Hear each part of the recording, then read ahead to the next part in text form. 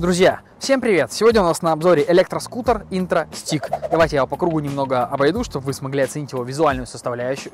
Движок здесь мощностью 350 Вт, максимальная скорость 25 км в час. Ну, по крайней мере, так заявляет производитель. Чуть позже мы это обязательно проверим. А, далее, здесь установлен свинцово-кислотный аккумулятор вольтажом 48 и 12 ампер часов. Ну, сегодня мы тоже, кстати, постараемся обязательно его разрядить. Для этого я включаю вот такое вот приложение трекинг, старт. Все, то есть мы запустили, мы будем видеть, какую дистанцию мы проехали. Я убираю телефон в карман, чтобы его не разбить, конечно же. Далее, садимся. Сейчас немного настрою камеру, чтобы все было четенько. Так, ну, по идее, все должно быть хорошо видно. Заводим байк. И все, поехали. Давайте сразу поделюсь своим впечатлением что мне вот первое, что приходит в голову, это то, что, несмотря на то, что здесь, опять же, движок 350 ватт, и это там не 1000 ватт, не 1500 и так далее, тем не менее, динамика разгона очень хорошая, то есть он прям с места, я бы даже сказал, срывается. Не так, что, конечно, ваши колеса прошлифовываются, то есть резина и тапки слетают, нет, но это все-таки электроскутер для безопасной езды, для размеренной езды по городу, но тем не менее, вот прям зажимаешь ручку и чувствуешь все. Скутер сразу начинает набирать скорость. Ладно, поехали.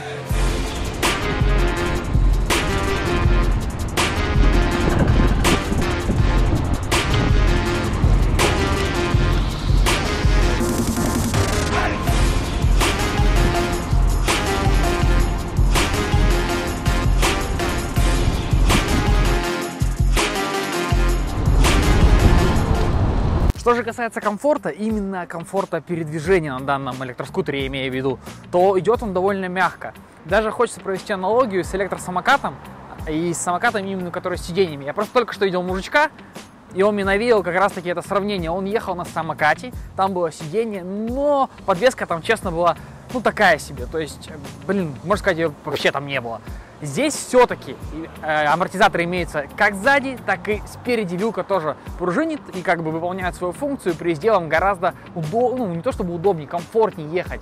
Э, с маленьких бордюров уж точно. Я не говорю, что нужно заезжать на большие бордюры, но вот если какие-то такие небольшие неровности на дороге, трещинки, плитка, то ехать на данном электроскутере прям гораздо мягче, чем на многих самокатах. Ну, по крайней мере, в данном ценовом сегменте. Ладно, едем дальше.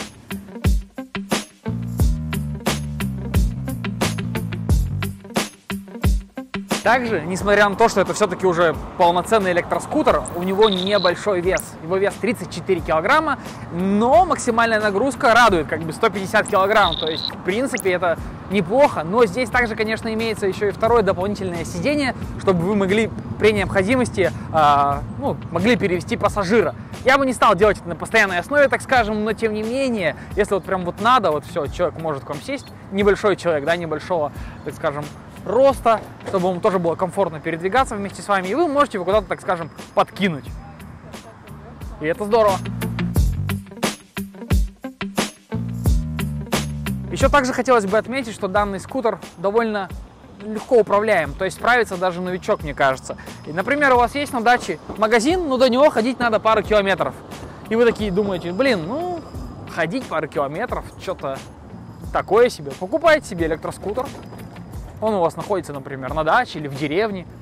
Сели, доехали до магазина с ветерком, купили продукты, положили их в корзину. Здесь, кстати, спереди имеется вот такая корзина, кстати, нормального размера, между прочим, бывает гораздо меньше. Закинули туда продукты или воду, или что вы там купите, да, и все, и возвращаетесь. То есть довольно удобный и мобильный транспорт, я бы сказал.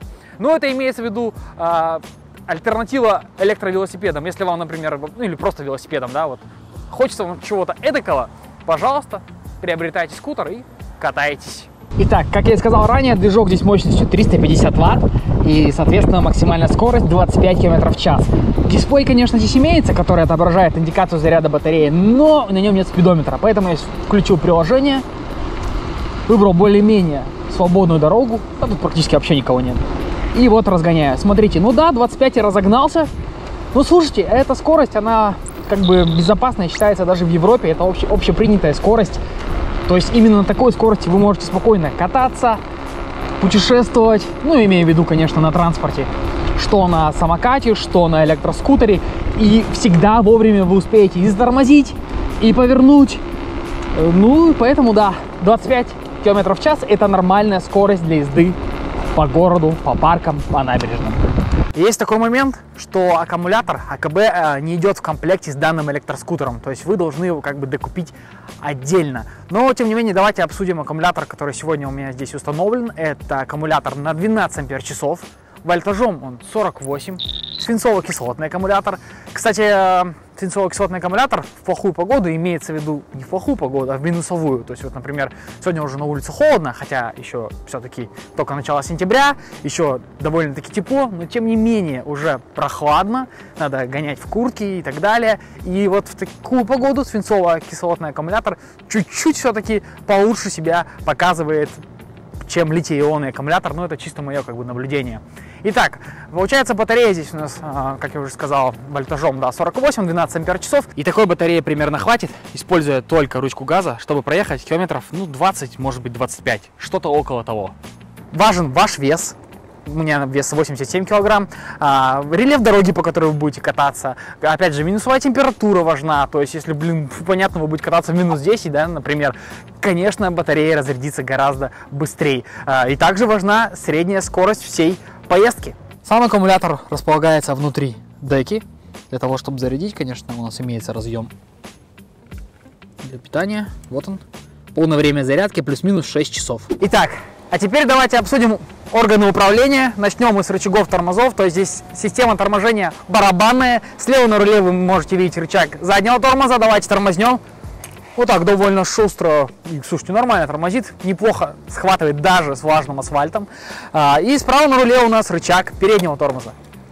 И, кстати, всегда лучше тормозите одновременно двумя тормозами, это как бы сделано, ну это правильно, вообще тормозить двумя тормозами, это правильно. Это в первую очередь нужно делать для вашей же безопасности, чтобы быстро и плавно остановиться. Вот сейчас, допустим, хоп, сразу два. Ну, вы сами все слышите, тормоза работают исправно. Идем далее. Слева на руле у нас имеется вот такой звуковой сигнал. Видите? Довольно громко сигналит. То есть, ну, правда, бывает гораздо тише. Что касается экрана, давайте к нему перейдем. На нем у нас отображается только индикация заряда батареи. Вот здесь 4 зеленых деления, смотрите. То есть батарея до сих пор полностью заряжена. Да, когда я поворачиваю ручку газа, она начинает мигать, ну потому что так всегда на электротранспорте. Особенно я уже проехал, не знаю, километров, наверное, ну 4-5 ты точно проехал. Вот. Далее, чтобы выключить освещение, да, конечно же, здесь есть освещение, вы должны повернуть ключ еще правее. То есть, смотрите, вот так. Электроскутер выключен, видите, не едет. Повернули, мы начинаем ехать. Смотрим, хоп, все, начинает набирать скорость. Поворачиваем еще раз. У нас включается уже освещение спереди, там светодиодная лампа загорается, и сзади также загорается, ну, задний габаритный огонь. И вот справа перед нами ручка газа. Поворачиваем, и скутер начинает набирать скорость. В принципе, ребят, здесь все интуитивно и понятно.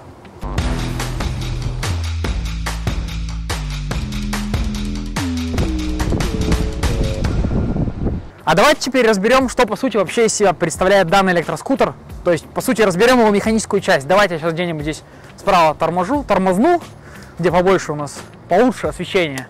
Вот здесь, например, да. И мы поближе его, так скажем, с вами рассмотрим. Есть подножка, ставим. Надеюсь, вам будет видно. А, ребят, ну, в общем, смотрите. Двойная подвеска. То есть часто на электроскутерах просто жесткая подвеска. Здорово, что здесь и вилка выполняет свою функцию. То есть она, да, когда ты едешь по неровностям, она срабатывает и ехать гораздо мягче. И также у нас сзади, под, смотрите, под сиденьем пассажира, под пассажирским сиденьем есть пружина здесь, раз амортизатор и сбоку второй. И как бы это на самом деле чувствуется, особенно это будет чувствоваться тем людям, которые катались на скутерах, у которого вообще подвеска максимально была жесткая, то есть там не было этих пружинок. И здесь, сев на данный скутер, он почувствует разницу, ему действительно будет ехать мягче, учитывая, что и сиденье здесь не знаю, как даже показать, сейчас попробую. Смотрите, как оно мнется. То есть оно действительно мягкое и размер у него очень большой. То есть когда ты едешь, ты ну, комфортно сидишь, комфортно едешь, вообще ни о чем не паришься учитывая, что у тебя еще ноги будут находиться на деке, и все, ты просто вот сел, смотришь, едешь, наслаждаешься поездкой, ни о чем не думаешь. Рама у данного байка довольно массивная, вряд ли она из алюминия, давайте проверим. В моих бездонных карманах, как обычно, есть рулетка. В нее наконечники магнит. Ну, то есть, да, видно, что это не алюминий. Но как бы, слушайте, это и хорошо. Потому что я не думаю, что электроскутер должен быть таким прям легким. Все-таки он не должен быть хлипким, должен чувствовать себя уверенно на дороге. Это все-таки, ну, это все-таки полноценный электроскутер. Хоть да, он и небольшого размера, но тем не менее. Так, давайте переходим к колесам. Колеса у нас получается диаметром 14 дюймов. Вот такие вот колеса. Протектор, конечно, здесь все-таки городского типа, понятное дело, но при желании, я думаю, вы легко можете проехать по траве, где-то по грунту, вообще без проблем. Также на электроскутере имеются такие вот педали. Обычные педали, как на велосипеде, можно сказать. Здесь тоже есть цепь, да, но когда вы их крутите, он очень-очень медленно набирает скорость. То есть крутить их практически невозможно. Поэтому я думаю, на данном электроскутере уж точно нужно использовать не педали для ваших поездок, а исключительно ручку. Что касается дополнительных плюшек и вообще все, что вам может помочь, все, что вам будет только бонусом и плюсом, давайте начнем с корзины, я про нее уже рассказывал. Спереди, да, у нас имеется корзина. Если, допустим, вы заехали в магазин, вы можете кинуть туда продукты, воду купить. Если вам вы катаетесь, вам стало жарко, вы можете снять и положить туда куртку, либо наоборот с собой перевозить в корзине куртку. Ну, короче, это действительно дополнительная полезная штука, я бы сказал. Идем далее. Конечно же, у нас тут имеется два металлических крыла и спереди, и сзади. Если вы будете, например, кататься в влажную погоду, вот, например, даже вот смотрите, передо мной сейчас лужа, да, вот такая.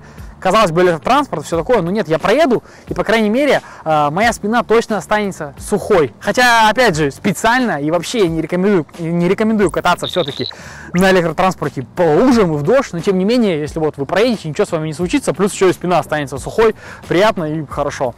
Идем далее. Конечно, давайте я лучше остановлюсь, покажу, что у нас еще также здесь имеется вот такая вот, смотрим, подножка стояночная, Поставили, отошли, все, он уверенно довольно-таки стоит электроскутер, никуда он не денется. И смотрите, есть подставки для ног, вот такие вот, для пассажира. То есть пассажир будет сидеть, у него ноги будут болтаться не где-то там в воздухе, а он их поставит, не будет даже их пытаться засунуть к вам на деку, то есть они не будут мешать ему. Он их поставит, поставит пассажир, соответственно, ну, должен быть маленький, скорее всего, но все-таки он сядет, поставит ноги и будет себя чувствовать гораздо уже комфортнее.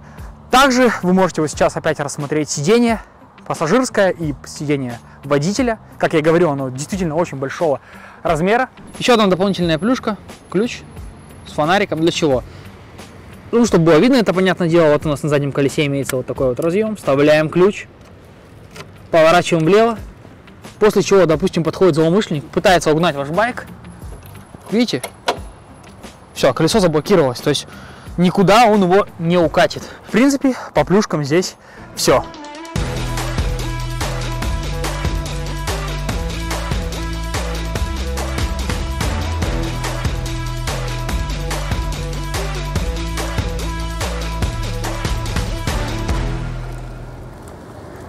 Итак, ребята, а теперь давайте подведем итоги в конце видео. Как вы можете заметить, батарею еще пока не разрядил, но тем не менее, чуть позже разряжу, давайте подведем итоги. Это удобный, практичный, простой электроскутер. Самая доступная модель из модельного ряда Интро. То есть это хорошая рабочая лошадка за свой бюджет. Если у вас остались какие-то вопросы по данному аппарату, смело переходите к нам на сайт интернет-магазина Format, оставляйте заявку на обратный звонок, наши менеджеры с вами свяжутся и ответят на все ваши вопросы. Также вы на нашем сайте можете посмотреть и весь модельный ряд как раз таки интро, там есть и э, другие скутеры по другой цене, то есть вы можете выбрать то, что вам будет ближе, так скажем, по душе. Ну а теперь самое время полностью разрядить батарею. Смотрим, на данный момент я проехал 6,4 километра. Ну и все, погнали!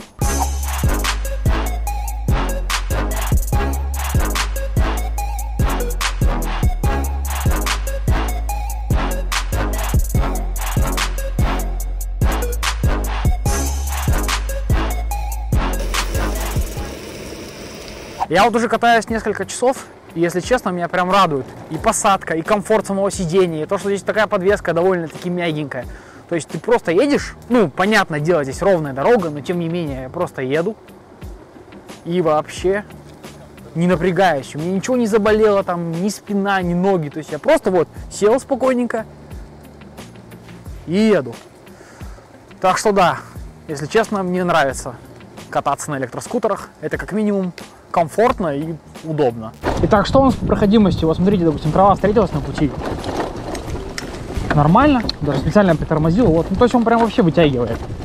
Тяга у него действительно неплохая. Поэтому по грунту, по траве он точно везде проедет. Смотрите, сейчас у меня отображается два зеленых деления, то есть половина батареи разрядилась. Проехал я, смотрим, надеюсь видно, 13,7 километров. А, ну, если честно, нормально он себя чувствует, то есть, в принципе, даже набирает скорость неплохо, хотя половина батареи разряжена. Ну, посмотрим, сколько я смогу проехать, когда она полностью разрядится. Едем дальше.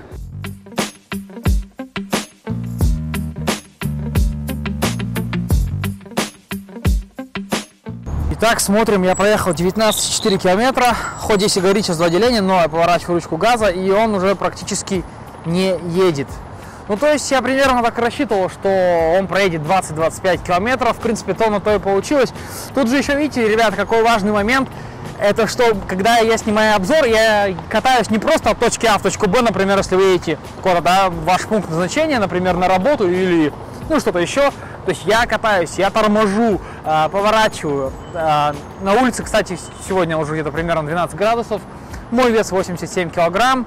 И когда я снимаю обзор, я ну, часто делаю лишние, так скажем, лишние остановки, которые тоже также влияют на разрядку батареи.